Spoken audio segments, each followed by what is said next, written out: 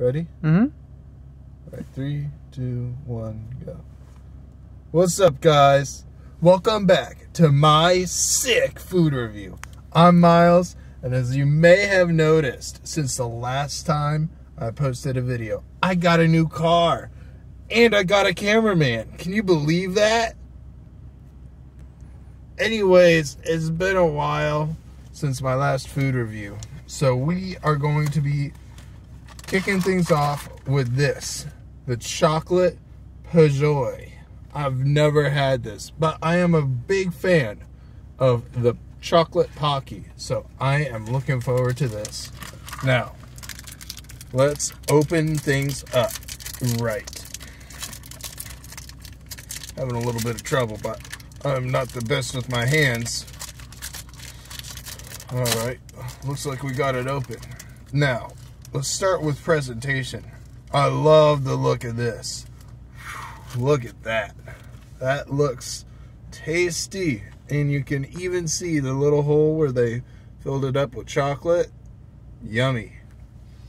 Now, it's time for the taste test. Mmm.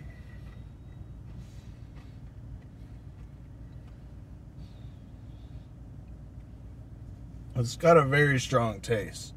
Well, not strong, but you can taste the chocolate, and it's pretty good.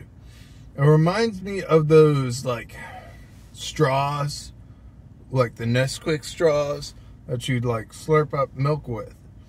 It's a lot like that, and it's got a similar taste and it's similar texture, but it's a lot smaller. But I imagine if you wanted to you could probably use this for the same purpose. Anyways, that's the end of this food review.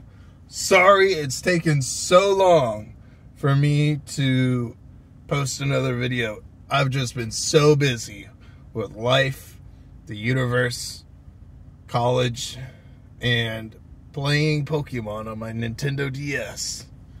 It's been a rough one. Anyways, I'll see you in the next food review. Miles out.